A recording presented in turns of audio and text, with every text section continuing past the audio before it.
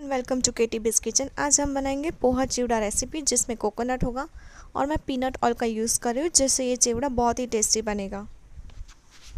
गुजराती लोग ढोकले और खींचू बहुत सारी चीज़ों में पीनट ऑयल का यूज़ करते हैं। वैसे ही इस पोहे में पीनट ऑयल का यूज़ करने से ये बहुत ही ज़्यादा टेस्टी बनेंगे। सो so, यहाँ पे हम लेंगे नायलॉन पोहे जो पोहा बने बनाने के लिए यूज़ होते हैं।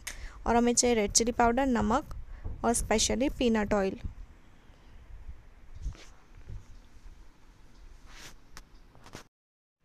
so so, अभी हम एक कढ़ाई लेंगे। कढ़ाई को हम हल्का सा गर्म होने देंगे और उसके बाद हम तुरंत ही पोहे डाल देंगे।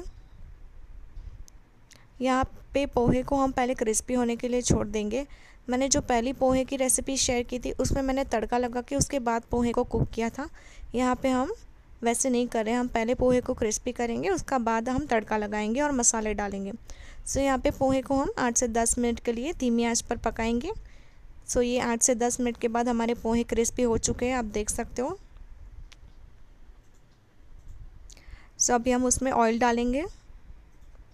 यहाँ पे मैं पाँच टेबल स्पून पीनट ऑयल डाल रही हूँ। मैंने जो पहली रेसिपी शेयर की थी, उसमें मैंने रेगुलर ऑयल यूज़ किया था। यहाँ पे मैं पीनट ऑयल डाल रही हूँ, जिससे टेस्ट बहुत ही अच्छा आएगा। यहाँ पे मैं एक tablespoon red chilli powder डाल रही हूँ।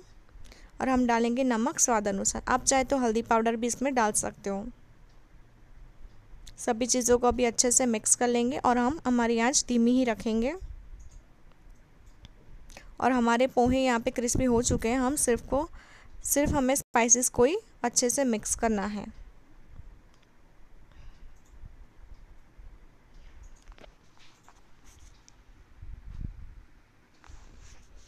ऐसे दो स्पैचुला लेके उसको अच्छे से मिक्स कर दीजिए।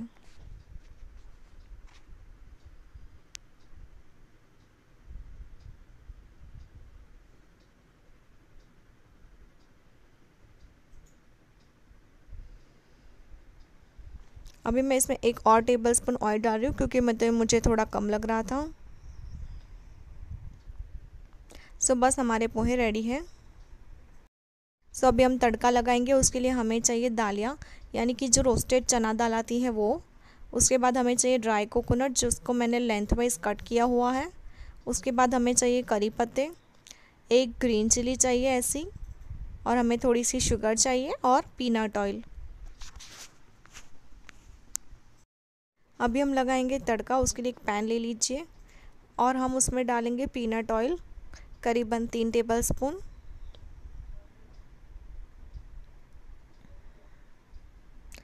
जैसे ही ऑयल हल्का सा गर्म होता है, हम उसमें डालेंगे करी पत्ते। और उसके बाद हम डाल देंगे रोस्टेड चना दाल, यानी कि दालियाँ। उसको हम सिर्फ़ एक बार स्टर करेंगे और उसके बाद हम तुरंत उसमें डाल देंगे कोकोनट चना दाल को ज़्यादा देर तक कुक नहीं करना है। सिर्फ़ उसको स्टर करके हम कोकोनट डाल देंगे और ग्रीन चिलीज़ डाल देंगे। और कोकोनट को हम लाइट ब्राउन होने तक कुक करेंगे।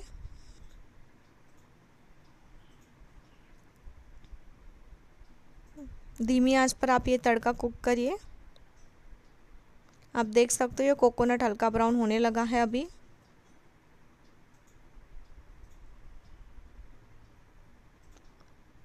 ये अभी हो चुका है। अभी हम इस तड़के को पोहे में डाल देंगे।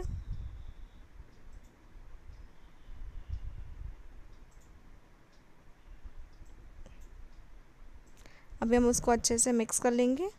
अभी हम उसमें डालेंगे शुगर यहाँ पे मैं तीन टेबल स्पून शुगर डाल रही हूँ। शुगर से पोहे का टेस्ट बहुत ही अच्छा आता है, इसलिए शुगर अवश्य डालिए। सभी चीज़ों को अच्छे से मिक्स कर लीजिए।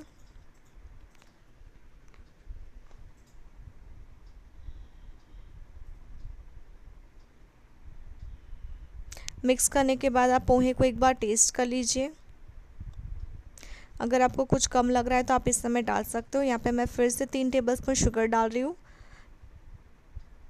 इस पोहे का टेस्ट शुगर से ही ज़्यादा अच्छा आएगा। सभी चीज़ों को फिर से अच्छे से मिक्स कर लीजिए। और उसके बाद अभी हम पापड़ को रोस्ट करके उसको ब्रेक करके इसमें डालेंगे।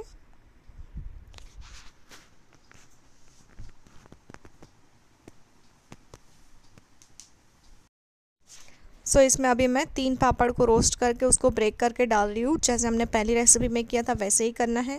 सिर्फ़ इस रेसिपी में डिफरेंस ये है कि हमने यहाँ पे पीनट ऑयल और यहाँ पे हमने कोकोनट और दालिया यूज़ किया है और हमने यहाँ पे शुगर ज़्यादा मात्रा में ली है, इसलिए ये पोहे और ज़्यादा टेस्टी बनेंगे। जो शुगर वाले नहीं खाते, वो मेरी पहली रेसिपी को ज़रूर देखिए। मैं उसकी लिंक डिस्क्रिप्शन बॉक्स में दूँगी। सो यहाँ पे हमारा पोहा चिवड़ा बन के रेडी है। Try this poha recipe and let me know how you like this recipe If you like this video, please hit the like button, share with your friends and please subscribe to my channel. See you soon with the next great recipe. Bye-bye.